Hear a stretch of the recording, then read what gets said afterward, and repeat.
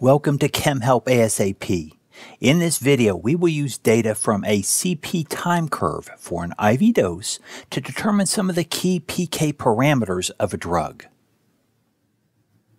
Upon completion of this video, students will be able to visualize IV CP time data, calculate clearance, volume of distribution, the elimination rate constant, and half-life from CP time data, and define various PK parameters, namely the ones we are calculating.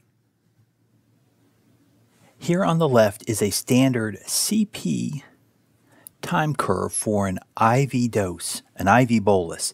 The entire dose is injected in a single push. The concentration is almost instantaneously high and tapers off as the drug undergoes hepatic metabolism or renal excretion. Blood samples are drawn at time intervals to generate CP time data points. The best fit curve for these points gives this graph. We can also visualize these same data points a bit differently. To the right, we have a plot of natural log CP versus time. That is natural log, ln, base E log instead of base 10 log. Note that we get a line instead of a curve. The slope of this line is negative KEL, the elimination rate constant. The units of KEL are inverse time. The time axis is normally in hours. So KEL is normally in inverse hours. From KEL, we can quickly calculate half-life. Half-life is 0.693 divided by KEL. If KEL has units of hours, then half-life will have units of hours, which is typical. The half-life describes the time interval required for the plasma concentration of a drug to drop by a factor of 2. Half-life is a key PK parameter. We're back to our original CP time curve for an IV bolus. This curve defines an area. The area under curve or AUC. The front edge and tail end of the curve are not defined. If you know the elimination rate constant, then estimating the area under the curve, including these gaps, is fairly easy. CP normally has units of mass of drug per volume of plasma. So AUC is mass time per volume. For this curve, you will also know the drug dose used to generate the curve. Sometimes dose is written as D naught or D zero to specify the initial dose, normally either as a mass of drug or mass of drug per kilogram of patient. With the equation to the right, you can use both the dose and AUC to calculate clearance.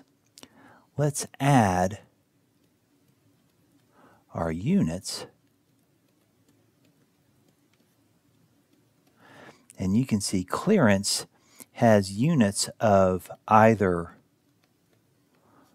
volume, that's plasma volume, per unit time, or volume per unit time per kilogram patient mass. So, what is clearance? Clearance is the volume of plasma per unit time from which the drug is removed, cleared in the body. Technically, we have calculated total clearance, CLT. The main organs associated with clearance are the liver and kidneys. As plasma with drug flows through the liver, it may be cleared by the liver, hepatic clearance, CLH. The same goes for the kidneys, renal clearance. Total clearance is typically the sum of hepatic and renal clearance. Renal clearance is often small relative to hepatic clearance. So total clearance is often approximately equal to hepatic clearance. Clearance is a key pharmacokinetic parameter. We think of clearance as a volume of plasma per unit time from which drug is removed. That introduces a question. How much plasma contains a drug? That would be the volume of distribution, VD, more properly called the apparent volume of distribution. We can calculate VD if we already know half-life, or KEL, and clearance based on the equation on the slide. Volume of distribution is a hypothetical volume of plasma that contains a drug. Although not real, VD can often be interpreted. A drug with a lower VD will be more concentrated in the bloodstream. A higher volume of distribution implies that the drug has distributed more into the different tissues of the body. The units on volume of distribution are normally either liters, liters of plasma. If clearance is reported on a per kilogram patient mass basis, then VD will also be liters of plasma per kilogram of patient mass. Volume of distribution is a key pharmacokinetic parameter. We have now visualized CP time data in different ways and use CP time data to calculate various PK parameters while providing some definitions along the way. I hope you are more comfortable with using CP time data to estimate properties like half-life, clearance, and volume of distribution. Please like, leave a comment, or subscribe. Take care.